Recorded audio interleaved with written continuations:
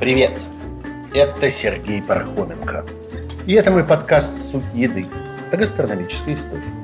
Это уже третий сезон наших историй за столом, что может быть ближе и увлекательнее, чем такие истории. Истории в наших тарелках.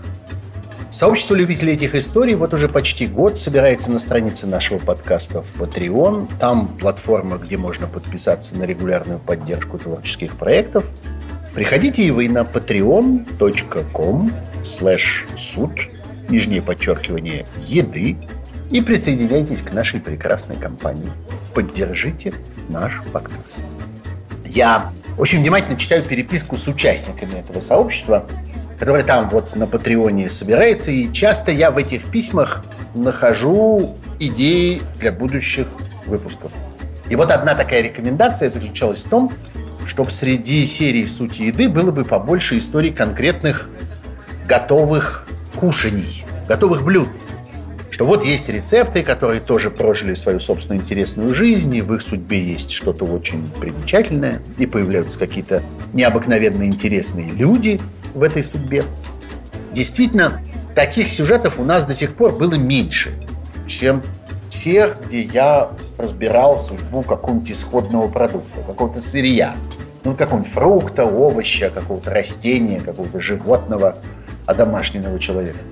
Но все-таки были борщ и бифстроганов, и была долма, и пицца была, хотя пицца, понятно, нам еще придется возвращаться, там явно сюжет остался невычерпанным до конца.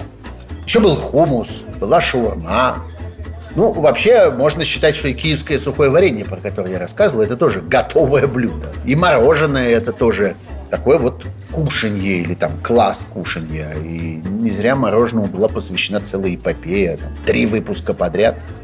Все это тоже можно считать готовыми блюдами. В общем, если пропустили это все, послушайте. Истории, по-моему, вполне стоят того, чтобы с ними разбираться. А вот сегодня будет относительно молодое явление. Ему всего-навсего 100 лет от роду. Ну, то есть, если быть точным, даже и станет, а там, 97. Совсем, можно сказать, вчера появилась на свет. Но сколько всякого увлекательного, сколько всякого удивительного, поразительного в эту историю уместилось. И за ним есть еще кое-какая серьезная теория, о которой тоже стоит поговорить. Ну вот, послушайте, сегодня про салат Цезарь.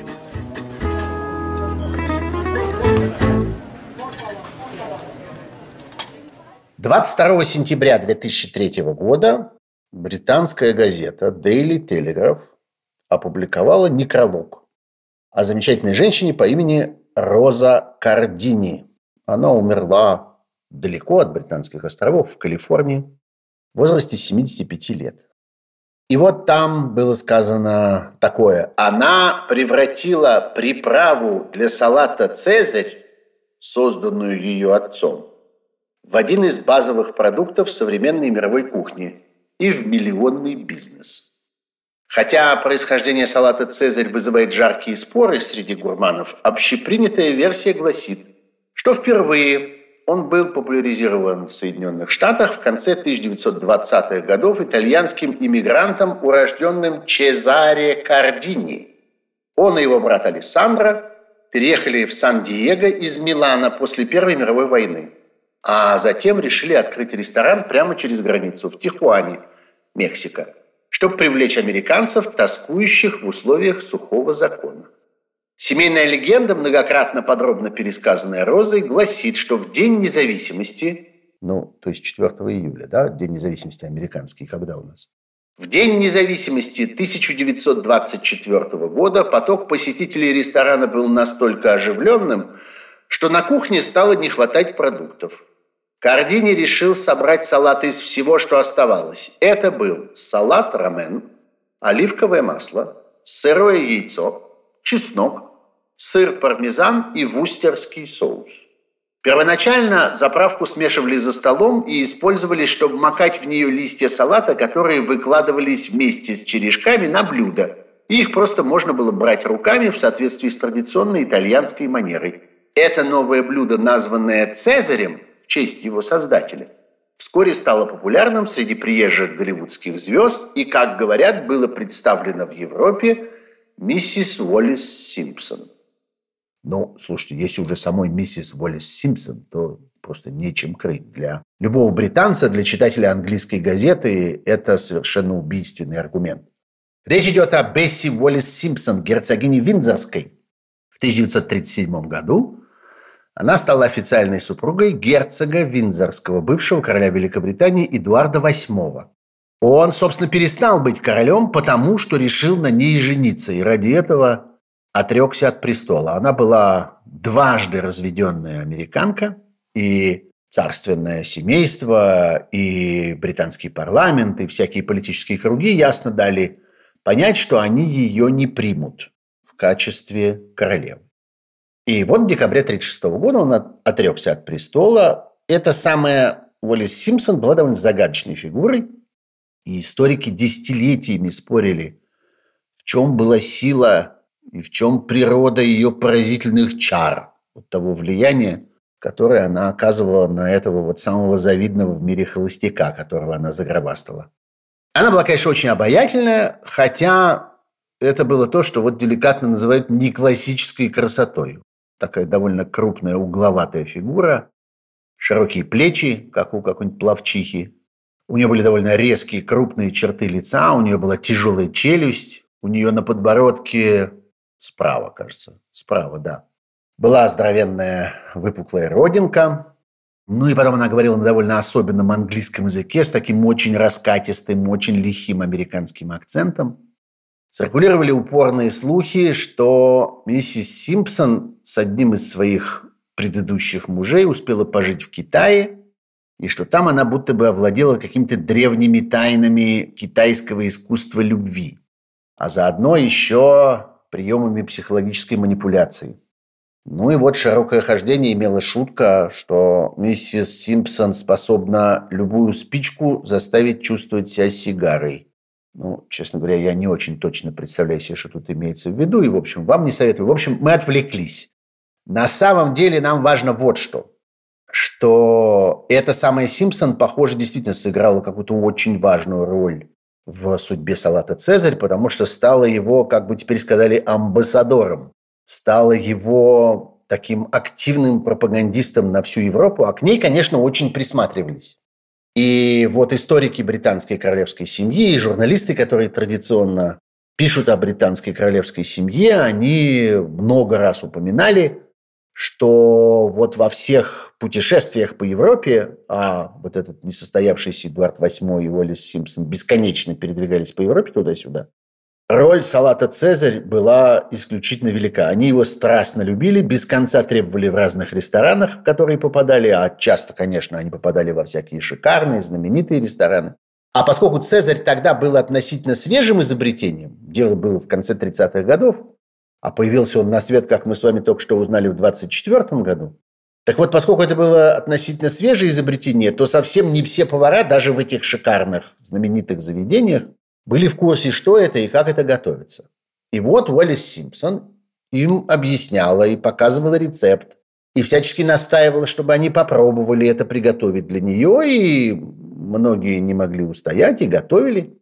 И вот тут же ставили этот эксперимент, а они тут же снимали пробу. И вот таким способом герцог Виндзорский, герцогиня Виндзорская посеяли по всей Европе моду на этот новый салат во многих европейских столицах. Выше был рецепт в этом самом тексте из Daily Telegraph. С ним, по-моему, все совершенно понятно.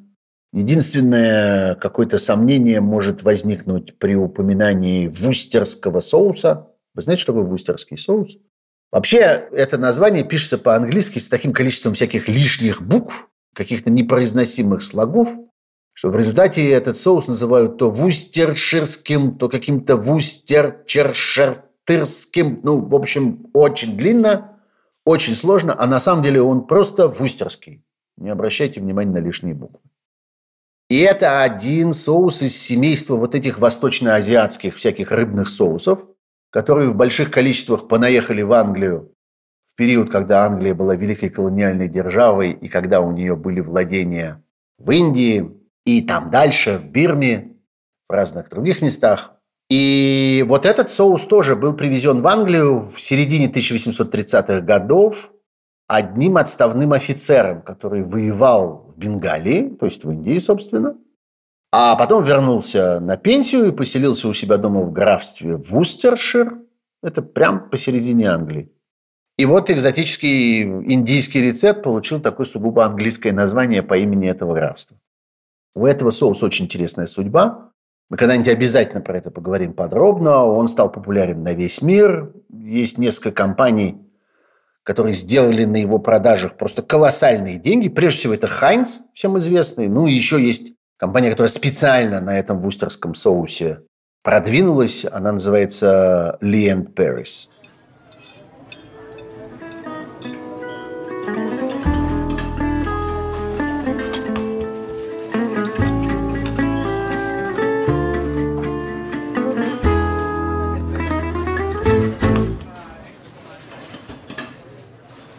Ну вот, вот это самое официальное признание, если не считать миссис Уоллес Симпсон, как везде, везде, везде написано, куда вы не полезете читать, обязательно упоминание об этом найдете. Официальное признание салат получил в 1953 году, то есть всего нам всего через 29 лет после его формального изобретения, когда Международное общество эпикурейцев – так называется собрание ведущих шеф-поваров Парижа, назвало этот рецепт величайшим вкладом Америки в мировую кухню. Ну, вообще, это, видимо, какой-то апокриф, потому что ни в каких источниках невозможно найти подтверждение этому историческому голосованию. И вообще все это таинственное эпикурейское общество шеф-поваров Парижа – это какое-то исключительно американское изобретение – Никаких особенных следов этой могущественной организации там во французских источниках, кстати, найти невозможно. И нет ничего, никаких записей, никакой процедуры, что там были приняты какие-то голосования еще по каким-то таким странным вычурным номинациям, величайший вклад чего-то такого в чего-то такое. В общем, легенда. Этих легенд очень много в истории Цезаря. Но разобраться с его происхождением можно, и разбираться довольно просто, потому что, в общем, Одна и та же история, с одними и теми же именами, с одними и теми же датами, с одними и теми же обстоятельствами повторяется снова и снова, и документальные свидетельства теперь уже имеются. И, в общем, мы можем не сомневаться, что дело было вот в середине 1920-х годов. В городе Тихуана – это крупнейший город мексиканского штата Нижняя Калифорния. И он находится на самой границе с Соединенными Штатами. Он существует до сих пор, напротив, по ту сторону границы Сан-Диего. И вместе с Сан-Диего он образует такую довольно большую агломерацию и сегодня. А в 20-х годах вот эта граница между Сан-Диего и Тихуаной имела довольно большое коммерческое значение. Потому что это было время сухого закона.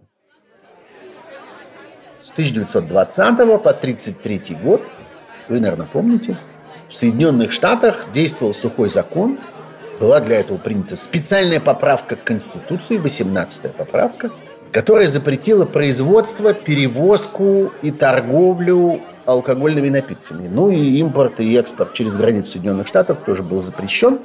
Но поразительным образом права американцев не должны были быть затронуты, и свобода американского гражданина обладать тем, что ему нужно, вот неприкосновенность частной собственности и так далее, тоже оказались выше. И в результате получилось, что производство, перевозка, торговля, импорт, экспорт запрещены, а владеть спиртными напитками никто вам не запрещает. И потреблять их тоже никто не запрещает. Поэтому сложилась довольно парадоксальная ситуация, когда, если вы уже где-то раздобыли бутылку, то никто не имеет права у вас спросить, где вы ее взяли и почему она у вас есть. Или если вы там надрались, предположим, то тоже никто не может у вас спросить, а чем это ты напился, товарищ, запрещено же. Имеете полное право владеть и потреблять. И это создало почву, как вы, наверное, помните, по многочисленным образцам литературы и кинематографа, богатейшую почву для всякого нелегального бизнеса, для войн всяких гангстерских группировок, которые этот бизнес контролировали. В общем, это была целая большая эпопея. В 1933 году пришлось опять принимать конституционную поправку для того, чтобы отменить ту 18-ю поправку, которая была признана неудачной и вредной. А тем временем, на протяжении всего этого времени, вот этих 13 лет, пока сухой закон существовал, приграничные города и с канадской стороны, и с мексиканской стороны становились очень популярным местом такого алкогольного туризма. И туда американцы ездили напиваться.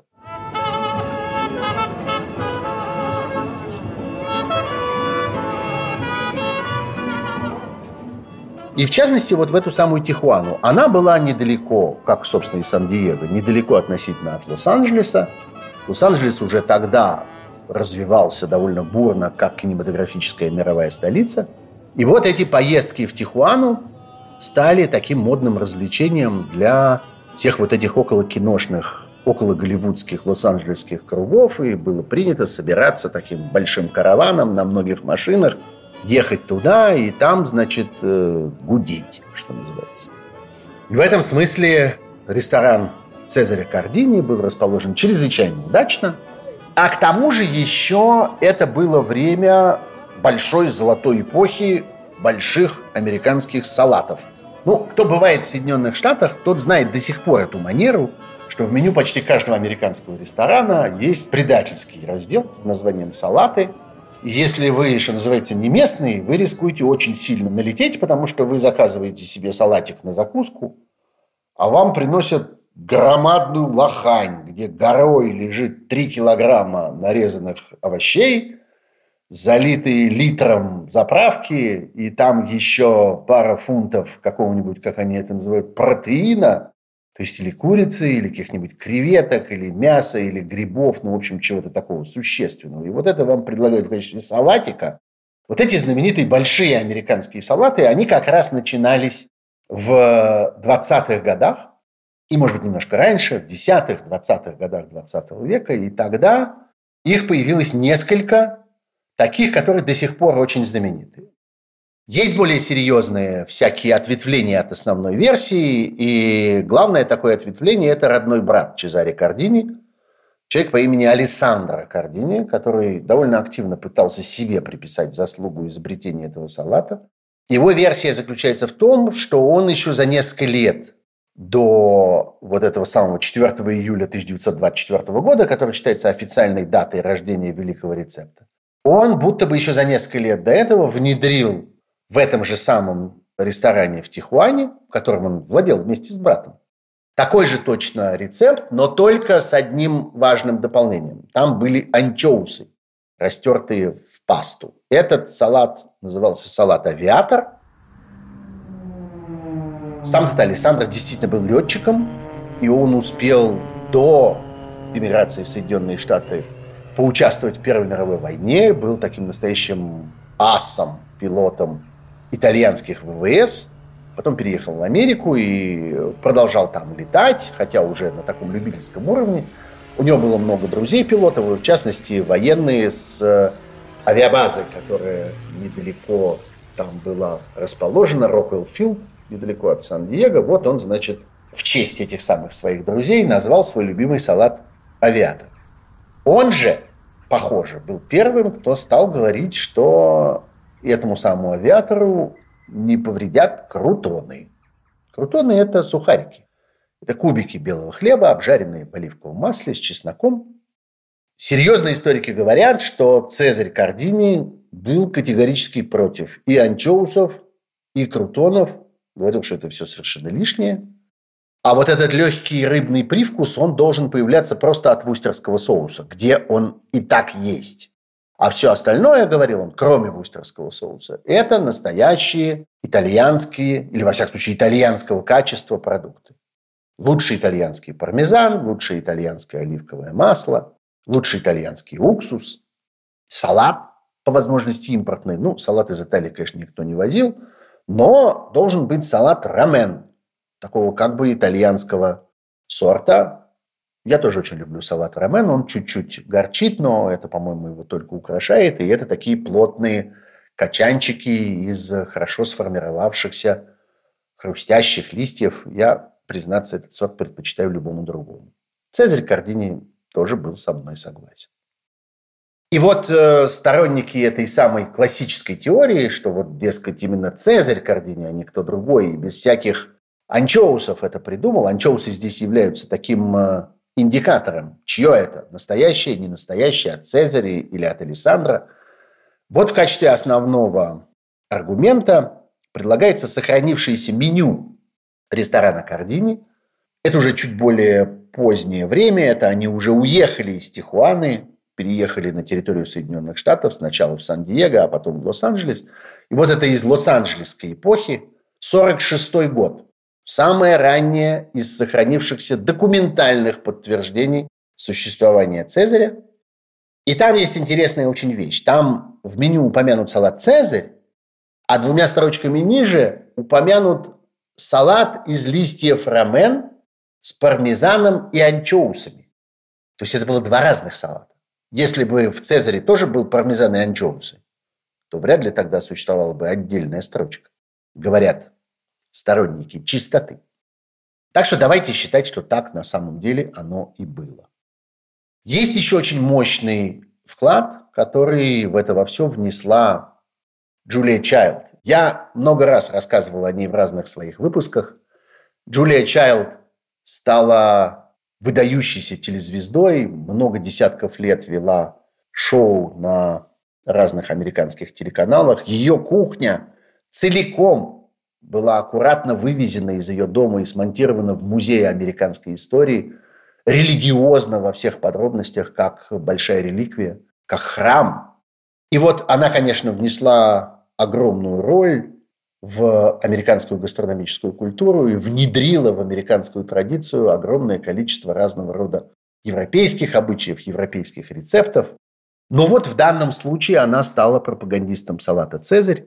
И в одной из своих книг, книге, которая называлась «С кухни Джулии Чайлд», она вышла в 1975 году, описывала подробно, как ее родители посещали тот самый ресторан в Тихуане и взяли ее с собой. И вот она пишет. Цезарь сам подкатил большую тележку к столу, высыпал рамен в большую деревянную миску. И я хотела бы сказать, что помню каждое его движение, но это не так. Единственное, что я снова четко вижу, это яйца. Я вижу, как он разбивает два яйца на салат и размешивает их. Зелень становится кремовой. Когда яичный желток стекает по ней, два яйца в смятку в салате, сваренные за одну минуту, и гренки с чесночным ароматом, и тертый сыр пармезан. Этот салат стал сенсацией от побережья до побережья, и даже ходили слухи о его большом успехе в Европе. Ага, гренки, значит, уже появляются. Значит, она довольно поздно там оказалась.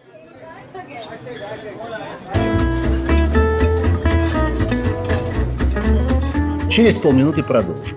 А пока я хочу только вам сообщить, что на сайте Литрес вы можете найти коллекцию из первых 12 серий «Сути еды», собранных в виде аудиокниги. Если вы привыкли слушать именно аудиокниги, а не подкасты, за рулем, на беговой дорожке в спортзале, гуляя с собакой, ну, или просто греясь на солнышке, это как раз для вас. Скачайте на Литресе и загрузите в смартфон пока первую коллекцию. А мы вот-вот выложим и вторую. Там будет сборник со следующей дюжиной историй.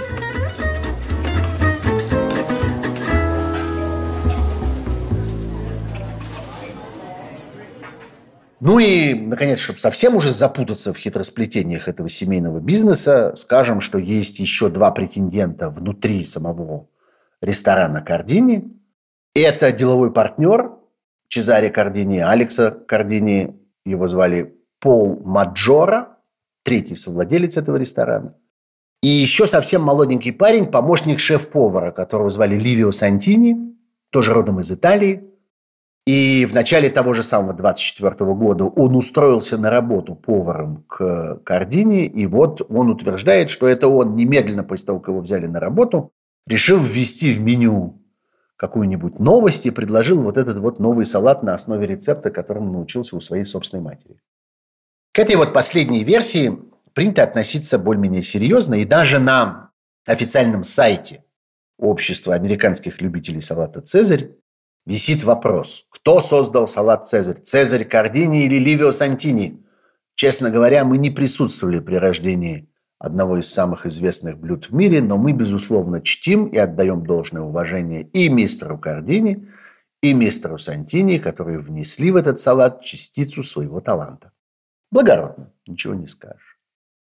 Тем временем эволюция этого рецепта, по мере того, как он продвигался по Америке, а потом пересек Атлантический океан и двинулся в Европу, эволюция проходила довольно быстро и коснулась одного очень важного для этого салата ингредиента, а именно лимона. Потому что первоначально там, вот в Тихуане, на мексиканской границе, использовался, конечно, лимон мexicano, мексиканский лимон. Он же лимон верде, он же лайм, как его назвали бы по-русски. А штука заключается в том, что в испанском языке желтый лимон и зеленый лимон называются одинаково – лимон. Ну, если надо, то как-то дополнительно это уточняют. Там, лимон верде, например, то есть зеленый. В общем, короче говоря, по всему миру лайм был вытеснен обычным лимоном. И сегодня, если вы попробуете этот салат в исполнении более или менее любого европейского ресторана, вы, конечно, получите его с лимонным соком. Когда в 1936 году мексиканское правительство приняло специальные законы, которые затруднили развитие и горного бизнеса, и вот этого вот э, алкогольного туризма в Мексику, поток посетителей в ресторане Кардини в Тихуане как-то сократился, и семья переехала сначала в Сан-Диего, потом в Лос-Анджелес. И вот именно там, в Лос-Анджелесе, они впервые попробовали продавать готовый соус от этого самого их знаменитого Цезаря в бутылочках для дальнейшего домашнего употребления. Потому что первоначально было вот то, что описывала Джулия Чайлд.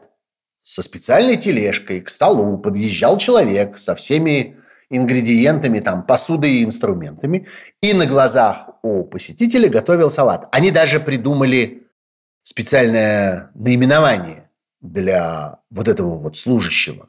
Он назывался инсаладеро, который готовил салат на этой вот тележке у стола. А тут появился готовый дрессинг, то есть вот заправка Цезарь. И дочери Чезаря Кардини, Розе Кардини, вот той самой, с которой начался наш рассказ, ей было в этот момент ровно 10 лет, и она принимала участие в торговле, она целыми днями либо с самим отцом, либо с кем-то еще из семьи, либо с кем-то из сотрудников ресторана, выстаивала там за прилавком на ярмарке, рекламируя этот самый соус.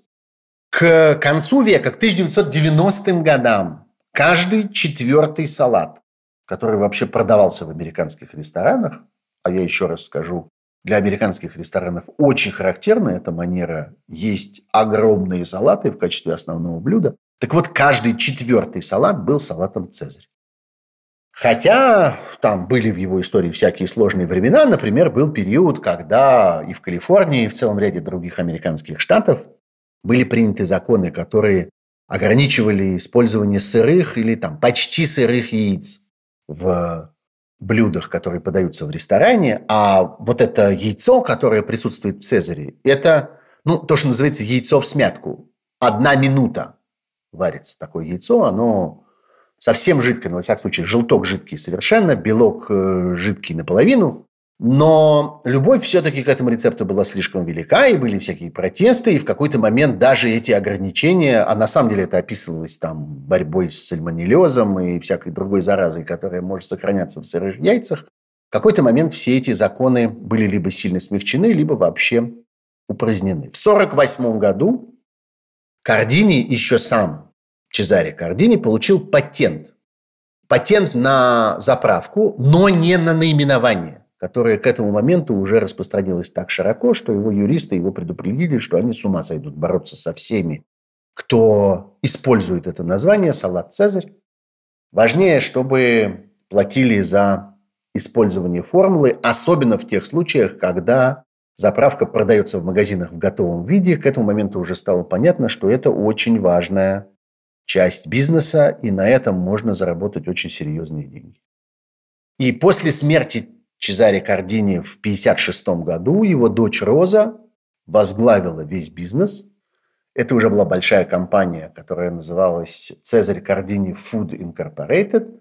Получила патент уже теперь на блюдо в целом с использованием этой заправки. Укрепила свои права на состав соуса. Добавила еще 17 разных салатных заправок в ассортимент своей компании. И, в общем, привела компанию к процветанию. И вот этот бренд Кардини к концу века стал чрезвычайно известным в Америке. И до сих пор во многих э, больших супермаркетах вы можете видеть всякие салатные заправки с этим именем. Там всякие были, конечно, рекламные кампании, всякие крупные шумные рекламные акции. Самое известное – это 88 год. Там же вот в Тихуане ради такого дела они вернулись на мексиканскую территорию. Сама Роза Кардини руководила приготовлением Цезаря на 3000 человек. И для этого они там соорудили такую бетонную ванну, даже не назовешь это салатницей, длиной 4 метра. И в ней вот этот салат замешивали. Я все-таки бы предложил как-то повнимательнее к этому рецепту присмотреться, Потому что это, конечно, удивительный пример того, как чрезвычайно простое изобретение из небольшого количества очень обыкновенных и очень естественно обработанных ингредиентов дает совершенно поразительный результат. Но это именно тот случай, когда тщательность обработки, когда очень внимательное, очень аккуратное следование каждому приему имеет большое значение. Это вот то блюдо, которое нужно готовить не торопясь, и для которого нужно очень тщательно, любовно подбирать и ингредиенты, и инвентарь, что называется. Ну, например, почему деревянная миска? Я действительно должен подтвердить, что деревянная миска имеет значение. Потому что для Цезаря используется очень своеобразная метода внедрения чеснока. Чеснок же можно по-разному запихнуть в еду, которую вы готовите. Можно целиком зубчики положить, можно его нарезать крупно, мелко, так, сяк, нарубить, раздавить в пасту или в этой чеснокодавилке, или натереть на терке. И все это будет разные чесноки они будут э, по-разному пахнуть. Где-то будет больше вкуса, меньше запаха. Где-то будет меньше запаха, больше вкуса. Хороший повар этим владеет. И хороший повар понимает, в каких ситуациях как надо обходиться с чесноком. Да еще и в каких-то ситуациях он бывает сырой, а в каких-то ситуациях его нужно, скажем, предварительно обжарить в оливковом масле. А иногда еще бывает, что надо обжарить в оливковом масле и выбросить, а использовать только само масло, которое пропиталось этим запахом и вкусом. Так вот, в случае с Цезарем берется деревянная миска, и ее натирают чесноком. Точнее, не так. Ее не натирают чесноком. Об нее и стирают чеснок. Труд его об стенки до тех пор, пока он весь там не останется, пока он весь не превратится вот в вот такой слой, тонкую пленку, размазанную по стенкам и по дну этой большой деревянной миски. А потом уже все остальное. Есть такой сайт – очень хороший, я его очень люблю. Он называется Serious Food, серьезная еда, где подробно разбираются с происхождением и с особенностями разных э, известных, широко распространенных рецептов. И вот э, они там отзываются на вот эту официальную и, по всей видимости, справедливую версию происхождения Цезаря, когда в День независимости, много народу, ничего не осталось, надо собирать салат из тех немногочисленных ингредиентов, которые есть на кухне. Интересно, пишут они, чем руководствовался администратор ресторана, если в его запасах оказалось больше ромена, чем всего остального. Хотя отличительной чертой каждой истории происхождения всякого гастрономического супергероя обычно являются неожиданно поздние гости ресторана, странные запасы в кладовых и дикие инновационные манеры шеф-повара. Все это обычные отличительные черты любой хорошей истории о происхождении любой знаменитой еды. Ну, хорошо сказано и, в общем, справедливо, по-моему. Давайте внимательно пройдемся просто по основным ингредиентам. Салат – прежде всего. Салат должен быть очень хрустящим и очень качественным. Я вам советую победить на время в себе всякую склонность к экономии и к рациональному использованию запасов. Возьмите хорошую головку салата рамен и безжалостно с нее обрывайте и выбрасывайте внешние листья. Один слой, другой слой, третий слой. До тех пор, пока вы не доберетесь до того слоя, где точно нет ни одной, даже малюсенькой точечки увядания, где совсем молодые, очень хрустящие, очень свежие, очень приятные на ощупь и на запах молодые листья. Вот с этим сердцем качанчика салата рамен и имейте дело тогда, когда вы делаете цезарь. И не рубите его мелко на мелко. Скорее всего, если головка не очень большая, вам подойдут прям целые листья. Ну, в крайнем случае, можете их разделить пополам. Или там, если головка очень большая, то на три части. Но, скорее всего, если у вас в руках остались вот эти лопухи, значит, вы пожадничали. Значит, вы верхние слои не сняли и не выбросили. Снимите и выбросьте. И вот э, таким образом подготовленный салат, крупные листья складываются в эту миску, предварительно натертую чесноком. Дальше сухарики. Важная очень вещь. Прежде всего, тут тоже приходится отказываться от всяких потуг и склонностей к экономии. Не используйте для этого черствый хлеб а тем более готовые сухари. Возьмите свежего хлеба, нарежьте на кубики, полейте оливковым маслом, перемешайте руками, посолите, поперчите, посыпьте мелко-мелко натертым каким-нибудь очень твердым сыром. Ну, не обязательно пармезаном, ну, чем-нибудь, что делает вид, что он пармезан. И все это поджарьте в духовке, время от времени перемешивая. Должен появиться не суррогат, а какой-то прямо вот высококачественный продукт, который хочется просто так отдельно съесть. Я не сомневаюсь, что вы половину съедите, когда вытащите это из духовки. Но если все-таки что-нибудь останется, пусть пойдет в салат. Кстати, имейте в виду, что если вы добавляете туда чеснок, то это тоже надо делать с пониманием, потому что чеснок в духовке может сгореть, если вы просто насыпите его туда кусочками. Лучше всего натереть или там мелко измельчить каким-то образом чеснок, смешать его с оливковым маслом, потом, может быть, продавить через металлическое ситечко или через чеснокодавилку, и вот этой вот смесью как бы обмазать ваши кубики хлеба. Сыр. Сыр существует в Цезаре в двух видах, даже в трех. Во-первых, э, тот, который вы использовали при жарке этих самых сухариков. Во-вторых, тот, который вы запустили для того, чтобы смешать его с заправкой. Мелко-мелко, очень мелко натертый сыр. И, наконец, третий. Тот, который, наоборот, не натерт, а скорее наструган стружками. Я, например, использую для этого боковую поверхность вот обычной квадратной кухонной терки. Знаете, у нее там такие щели косые. Обычно не очень понятно, зачем они нужны. Вот для этого как раз и нужны. Вот с помощью этих щелей двигая по ним просто большим куском сыра, можно получить вот эти самые стружки. Они еще иногда так красиво завиваются. Используйте и то, и другое, и третье. И сыр для сухариков, и сыр, замешанный в заправку, и сыр более крупными стружками, которым посыпано сверху. Ну и вот, наконец, мы дошли до заправки. На самом деле, конечно, несмотря на всю нашу любовь к традиции, я бы сказал, что взбить сначала хороший майонез, а потом добавить в него все то, что необходимо для Цезаря. Мелко натертый сыр, вустерский соус, перетертые в пасту анчоусы. Вот это и получится то, что работает лучше всего. Потому что такой соус будет эмульгированным, что называется. То есть превращенным в стабильную эмульсию, а не просто смесь ингредиентов – которая достаточно быстро у вас разделится, пока вы этот салат будете мешать. Более жидкие, то есть э, лимонный сок, прежде всего, уксус стекут на дно, а более густые яичные желтки, горчица, которую вы там используете, вот эта самая паста из анчоусов, сыр, все это прилипнет к вашим листьям.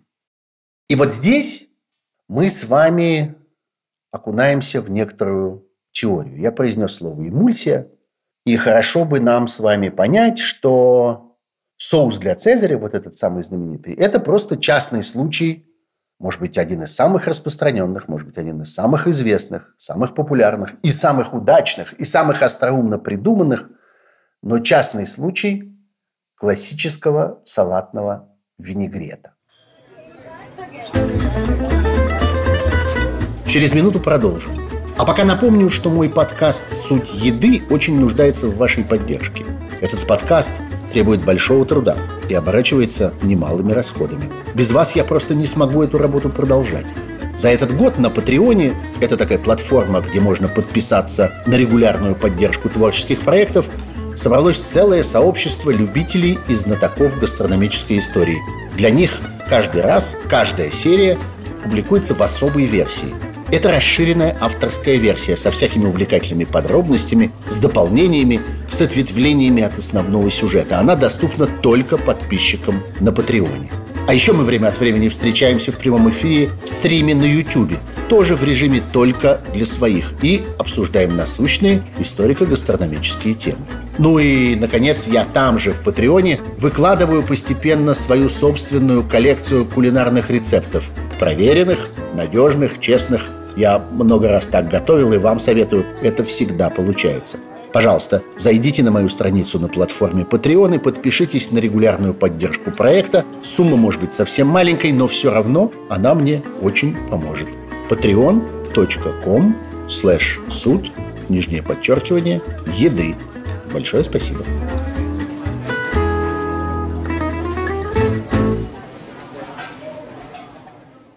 Слово «винегрет» на русском языке имеет, конечно, некоторое особенное и странноватое значение. Мы с вами хорошо помним про существование в русской кухне винегрета, то есть салата из вареной свеклы, вареной картошки, соленых огурцов, зеленого горошка и всяких прочих прекрасных овощей. Во всем мире винегретом называют нечто совсем другое. Во всем мире винегрет – это смесь из масла и уксуса, из жирной среды и кислой среды, которая образует непрозрачную взвесь, эмульсию. Вообще, с научной точки зрения, что такое эмульсия? Эмульсия – это смесь двух жидкостей, одна из которых образует э, некую стабильную среду, а другая в виде маленьких капелек взвешена в ней. Есть э, целая большая теория этих самых эмульсий и того, что следует считать дисперсной средой, то есть вот этой основой которая составляет больший объем в эмульсии, а что считать дисперсной фазой, то есть второй жидкостью, которая, собственно, в виде капелек там плавает, и, соответственно, бывает эмульсия, которая представляет из себя масло в воде, а бывает эмульсия, которая представляет из себя воду в масле, в зависимости от того, чего там больше, что находится в каком состоянии, что является основой, а что внесенным дополнением. Есть э, множество разных э, веществ, которые используются человеком для того, чтобы эта эмульсия не расслаивалась, не распадалась опять. Самый распространенный из них – это лецитин. Это такой особый белок, вещество, которое впервые было обнаружено в яичном желтке, откуда, собственно, его и название. Лейкитос, лецитос – это вот по-гречески есть желток.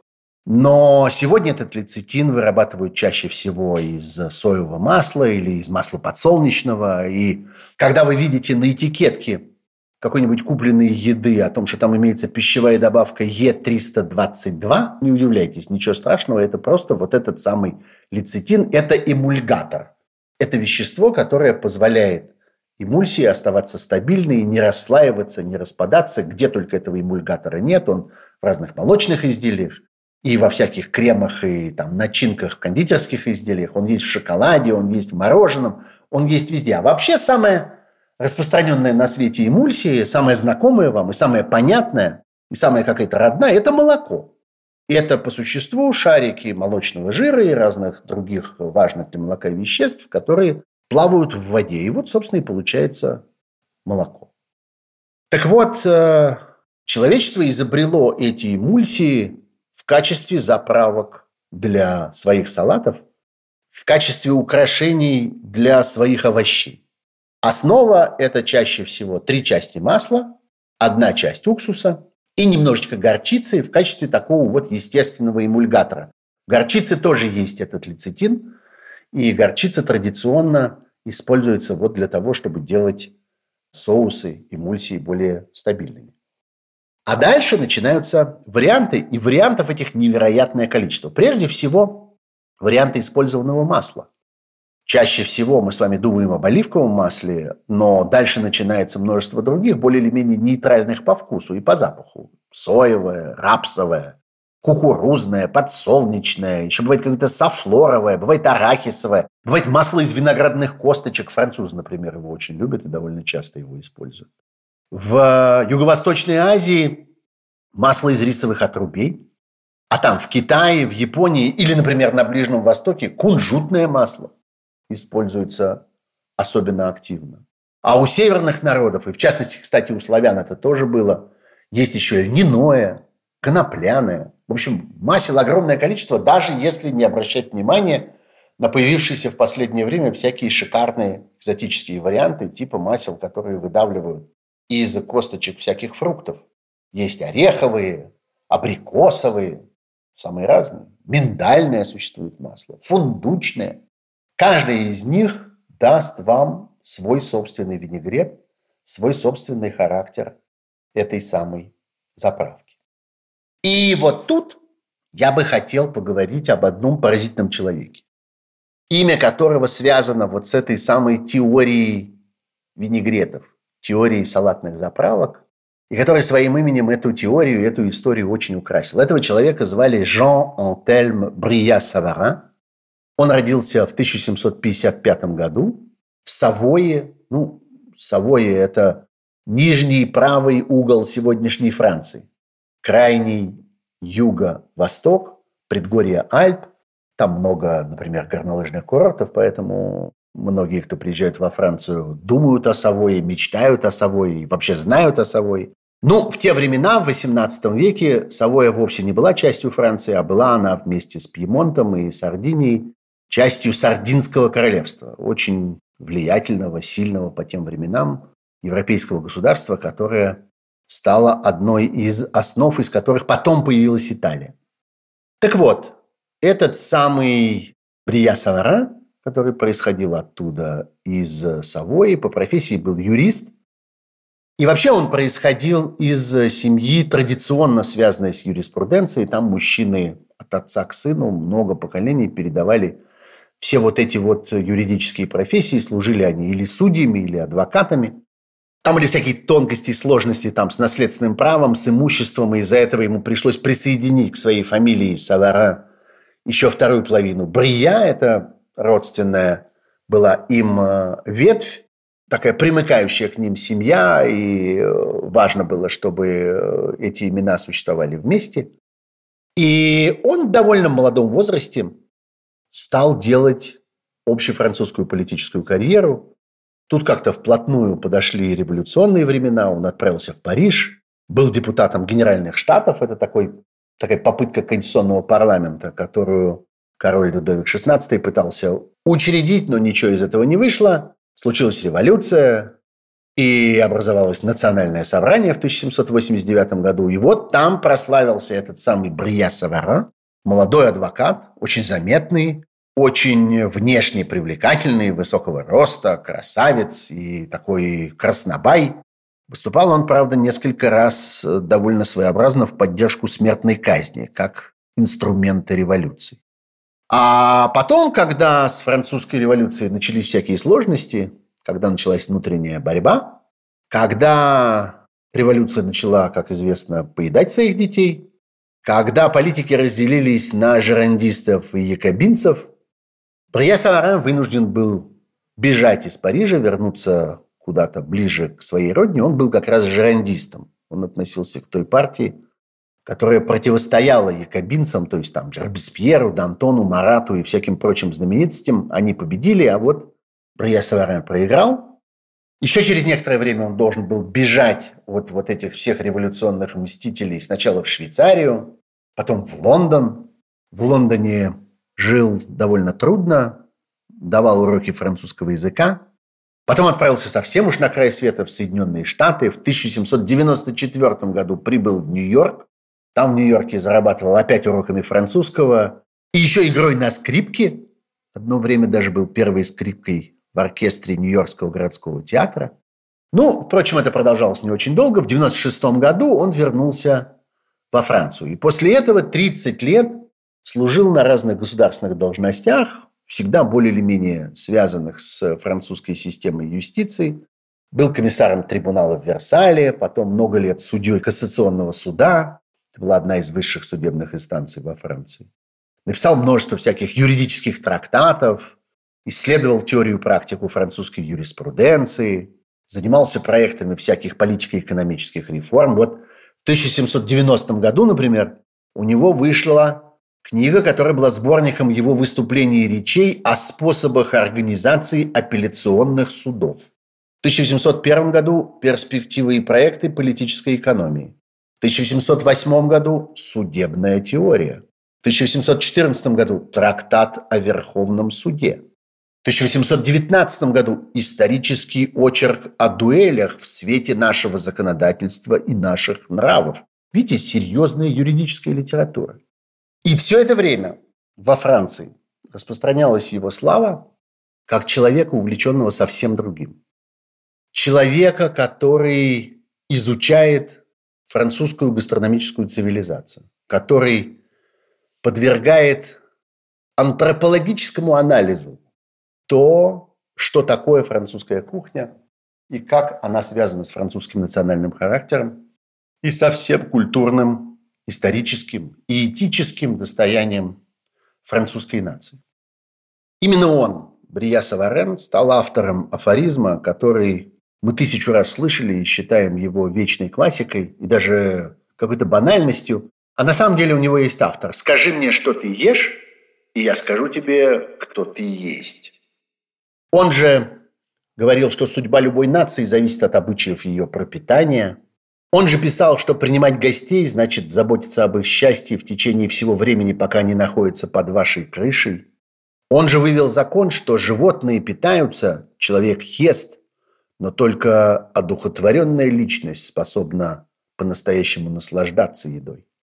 В декабре 1825 года в типографии был отпечатан главный труд его жизни под названием «Физиология вкуса» – «Physiologie du goût».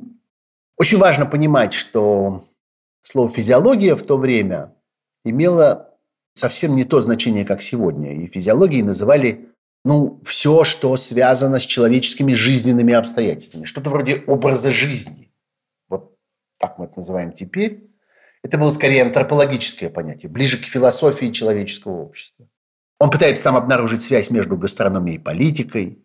Он объясняет, как с течением истории развивается искусство, вот всего, что связано с организацией застолья, как это все влияет на развитие общества.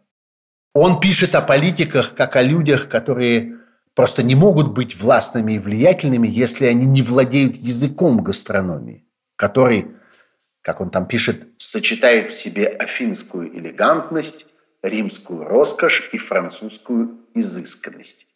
Между прочим, он даже о диетах умудрился там написать. И именно его можно считать основоположником такой распространенной сегодня теории еды, как низкоуглеродная диета. Это он стал первый писать, что вот хлеб, мука, сахар, всякие такие вещи – это штука вредная и ведет к ожирению, и влияет на состояние здоровья, и что без этого хорошо было бы как-нибудь обойтись. И вот, в конце концов, в физиологии вкуса появляется эпизод, который как раз имеет прямое отношение к тому, о чем мы разговариваем сегодня. И это некоторый первоисточник мировой теории винегретов и салатных заправок. И, следовательно, это можно считать такой праисторией салата «Цезарь» с его знаменитейшим винегретом. Брия Саварен в этой самой своей книжке рассказывает историю некого французского дворянина, который вынужден был жить в изгнании в Лондоне. И вот он там с трудом зарабатывал себе на жизнь, несмотря на блестящее происхождение и всякие славные заслуги в прошлом. Вот он пишет. Он был из Лимузена, если мне не изменяет память, его звали Добиньяк или Дельбиньяк. Хотя его пропитание было сильно ограничено плохим состоянием его финансов, тем не менее Однажды он обедал в одной из самых известных таверн Лондона. Он был одним из тех, кто придерживается системы, что можно хорошо пообедать одним блюдом, если оно превосходно. Пока он доедал сочный ростбиф, пять или шесть молодых людей из первых семей, этакие дэнди, развлекались за соседним столом. И один из них встал и подошел к нему и сказал вежливым тоном, «Месье, французы говорят, что ваша нация превосходит всех в искусстве приготовления салата. Не будете ли вы так добры помочь нам и приготовить его здесь для нас? Дельбиньяк согласился после некоторых колебаний, попросил все, что считал необходимым для создания ожидаемого шедевра, вложил в него все свое старание и имел счастье добиться успеха. Пока он исполнял свой рецепт, он откровенно отвечал на вопросы о своем нынешнем положении. Он сказал, что он иммигрант, он признался не без некоторого смущения, что получает помощь от английского правительства, что, несомненно, позволило одному из молодых людей сунуть ему в руку банкноту в 5 фунтов стерлингов, которую он принял после легкого сопротивления. Он дал свой адрес, и через некоторое время после этого был несказанно удивлен, получив письмо, в котором его в самых лестных выражениях просили приехать и приготовить салат в одном из самых красивых отелей на Гровнер-сквер. У него было время подумать о работе, которую он должен был сделать, поэтому ему посчастливилось снова добиться успеха, и на этот раз он получил такое удовольствие, что не смог бы отказаться от него без ущерба для себя. Первые молодые люди, которых он развлекал, как можно предположить, преувеличенно высоко оценили достоинство салата, приготовленного для них. Вторая компания наделала еще больше шума, так что репутация Дельбиньяка быстро распространилась. Его стали называть модным мастером салатов – и в этой стране, жаждущие новинок, все самые элегантные люди в столице трех королевств умирали за салат в манере французского джентльмена. I die for it. Так принято было там выражаться. Дельбиньяк, как человек решительный и предприимчивый, воспользовался увлечением, источником которого он стал. Вскоре у него появился экипаж – чтобы быстрее доставлять себя в различные места, куда его звали, и слуга, перевозивший в НССР из красного дерева все ингредиенты, которыми он обогатил свой репертуар, такие как уксусы разных вкусов, масла с фруктовым вкусом и без, соя, икра, трюфели, анчоусы, кетчуп, мясные соки и даже яичные желтки, которые являются непременным ингредиентом майонеза. Позже он сделал похожие наборы, которые полностью снаряжал и продавал их сотнями – Наконец, следуя своей линии деятельности с точностью и мудростью, он сумел сколотить состояние больше, чем 80 тысяч франков, которые перевез во Францию, когда наступили лучшие времена. История этого мастера, этого маэстро салатных заправок, который положил начало европейской моде на всякие винегреты, она стала очень популярной. Ее воспроизводит несметное количество всяких научных, полунаучных и совсем ненаучных источников, в том числе кулинарных книг и путеводителей. Это просто любимый анекдот гастрономических историков. И понятно, что очень хотелось бы вычислить, а кто этот таинственный французский дворянин, вот этот Дебиньяк или Дельбиньяк, которого Брия Саварен так подробно описывает. И вот есть множество исследователей, которые предпринимали такие попытки. Чаще всего у них получалось что речь идет о реально существовавшем во Франции в XVIII веке человеке по имени Луи Александр Барон Дальбиньяк Дар. Он родился в 1739 году, был доблестным французским генералом. Сначала воевал во всяких заморских владениях Франции в Индийском океане. Потом, когда наступила Великая революция в самой Французской республике, он участвовал еще в Семилетней войне в 1760-х годах. Он участвовал в кампании по усмирению Корсики в 1770-х. Потом он отправился в Пандишери, это столица французских владений на Индийском берегу. Там командовал целым полком, будучи сам подполковником, поскольку полноценных полковников во французских индийских владениях тогда не хватало. Он оборонял этот самый Пандишери, когда начался конфликт с британцами, и большая британская армия под командованием генерала Монро пыталась у французов отнять этот город. Потом он вернулся во Францию, и там, как он сам писал, едва заслышав первый удар колокола революции, он отправился в боевые части революционной армии, служил на юге, предгорье Хальп, и сражался против всяких роялистов, которые там устраивали мятежи и восстания. Тоже в какой-то момент впал в немилость у вождей революции, ездил в Париж, выступал там перед национальным собранием, пытаясь отстоять свое честное имя, заявлял там, что он готов себя сложить генеральское звание, он к тому моменту уже стал генералом, и просто пойти простым добровольцем в национальную гвардию.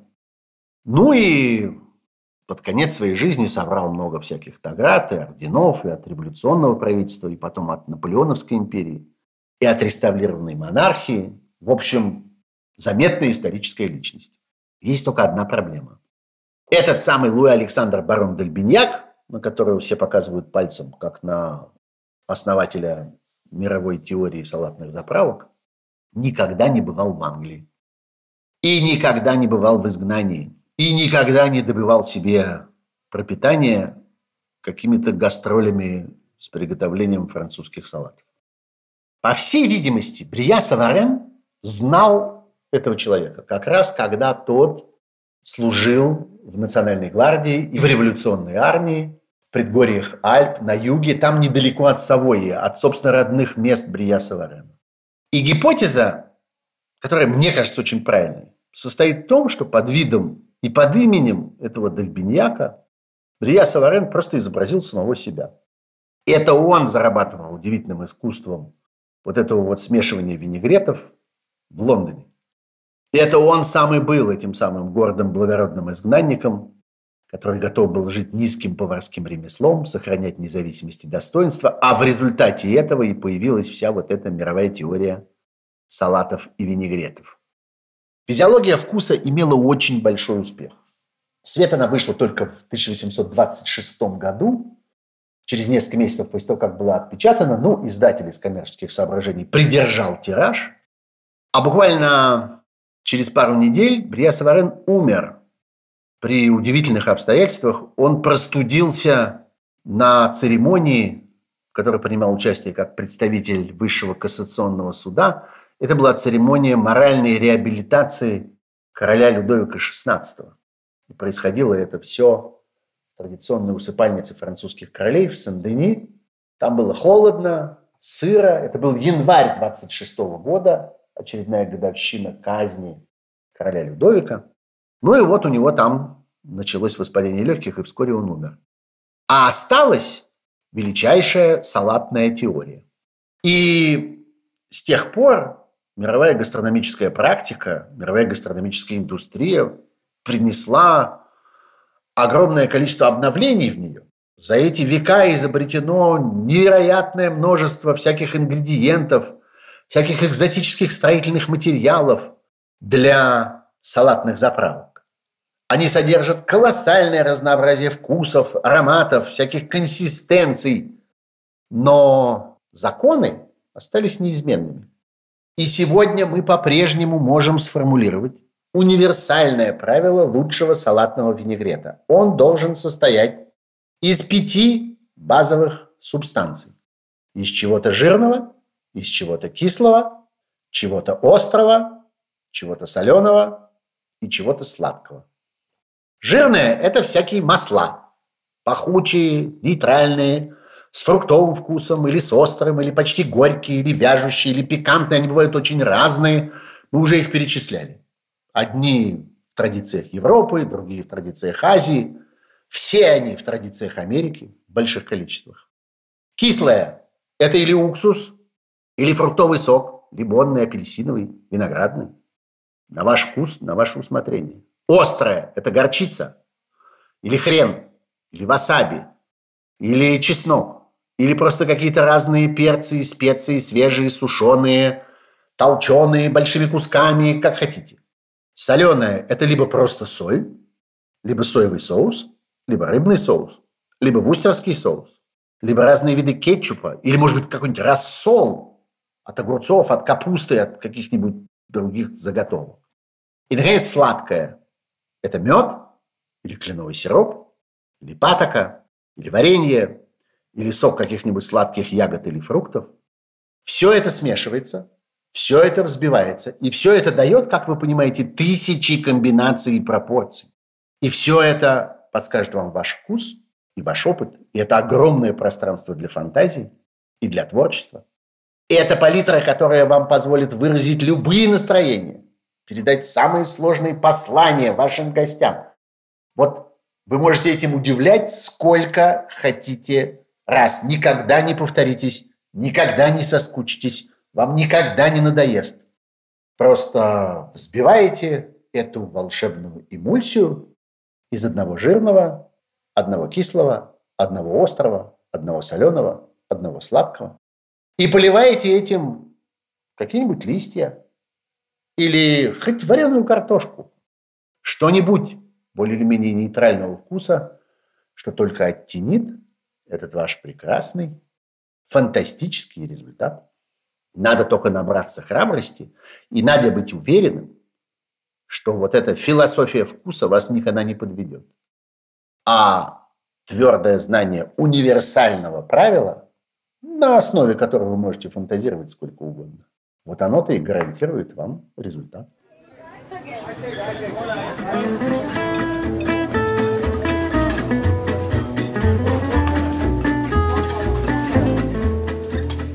Вот такая история. Историй будет еще много. Слушайте, пожалуйста, «Суть еды». Поддержите этот подкаст на странице Патреона, где можно подписаться на регулярный взнос и стать частью сообщества тех, кому важна суть еды. Без вашей помощи, хоть и совсем небольшой, гастрономическая история останется нерассказанной. Слушайте и подписывайтесь на Apple подкастах, на Google подкастах, на Яндекс Музыке, на Simplecast, на Кастбоксе, на Spotify, на Тюнине, везде. Новый выпуск каждый четверг. Я Сергей Пархоменко. Счастливо, пока.